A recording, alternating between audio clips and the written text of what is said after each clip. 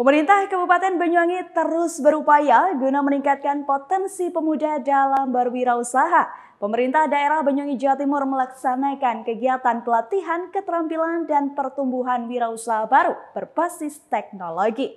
Program tersebut juga diharap dapat mengurangi angka pengangguran. Pemerintah Kabupaten Banyuwangi, Jawa Timur melaksanakan kegiatan pelatihan keterampilan dan penumbuhan wirausaha baru. Berbasis teknologi, kegiatan ini dilaksanakan di Pendopo Sabah, Swagata, Blambangan.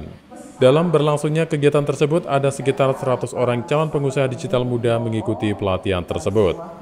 Pelatihan ini bertujuan mengembangkan pengetahuan dan keterampilan pemuda dalam pengembangan tata kelola usaha, baik dalam bidang produksi, pemasaran, serta jejaring kemitraan berbisnis terutama teknologi digital.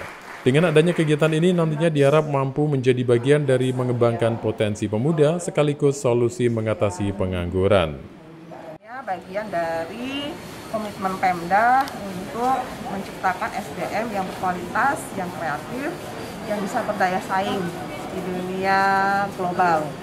Uh, jadi kami um, fasilitasi anak-anak muda Banyuwangi memang walaupun masih terbatas jumlahnya, yaitu untuk belajar tentang atau mengetahui tentang uh, apa tadi freelance Tak hanya itu, para peserta juga diberikan pengetahuan serta peningkatan keterampilan.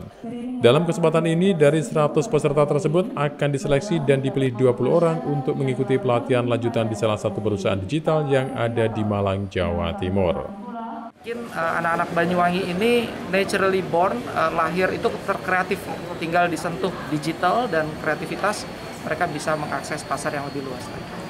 Nanti untuk yang 20 besar ya. akan diberangkatkan ke Malang? Akan diberangkatkan ke Malang, mereka akan ketemu beberapa desainer. Uh, ada eksklusif desainernya Free Pick, uh, Mas Roni yang uh, dari Kediri.